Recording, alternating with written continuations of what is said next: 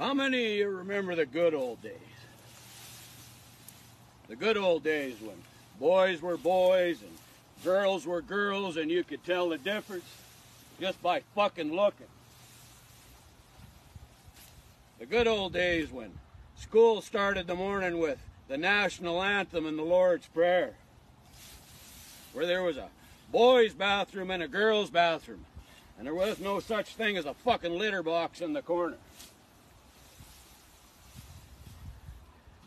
Those were the days when men had core values because we knew it was our inherent duty to stand up for the ladies and the children.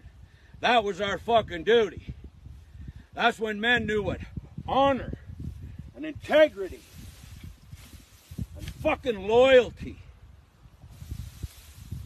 and fortitude were. Those were the days when, if you weren't feeling like you could make it amongst men, you had to try a little fucking harder. You didn't get to go out and join the other fucking team, crack women's skulls and break all kinds of fucking records. Unfucking believable what's happening in front of us right now. But now you're going after the kids.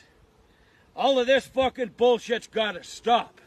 And it's up to the men in this fucking country to take a fucking stand, to grab some fucking balls, and stand up for what's right. Remember what your fucking inherent duty is. And we as men who know who the fuck we are in this world and in this life, we better take a fucking stand because it's our grandkids that are gonna fucking suffer if we don't. I love each and every one of you. And I strongly fucking believe that every person in this world has the right to live the life they want.